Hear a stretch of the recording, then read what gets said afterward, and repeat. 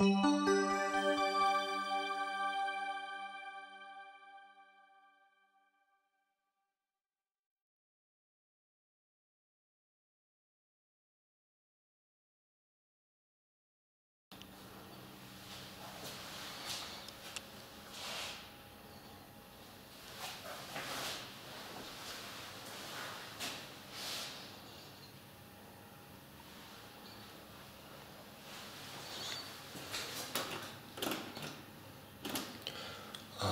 1970s structural light inside our old, probably 1920s building in Ängelholm.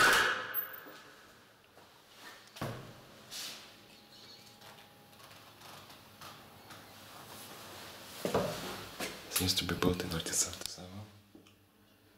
Vi har ett Storgatan 42 till 44. Ängelholm. It's a KONE.